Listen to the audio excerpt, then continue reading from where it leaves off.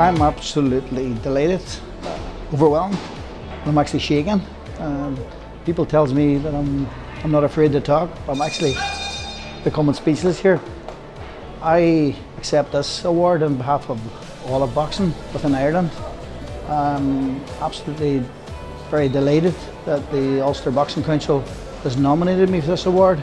Well, on behalf of the Ulster Boxing Council and the IABA and everyone associated with boxing in Ireland, we're absolutely delighted that Ben has received this award. It's an absolutely fantastic accolade for us in boxing and for Ben on a personal level.